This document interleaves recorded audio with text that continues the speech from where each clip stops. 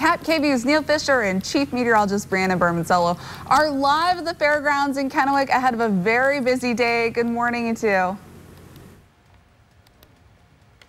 We are at the Benton County Fairgrounds for the Benton, uh, Benton Franklin Fair, excuse me, Fair and Rodeo. An exciting day, an exciting weekend ahead, and it's a nice morning to start this day. Yes, it's the second to last day of the fair, but if you missed the last couple of days, don't worry, there's a lot more to see. We've got the fair, of course, the rodeo concerts, both tonight and tomorrow night. The weather should be perfect to be out here, and it's gorgeous right now.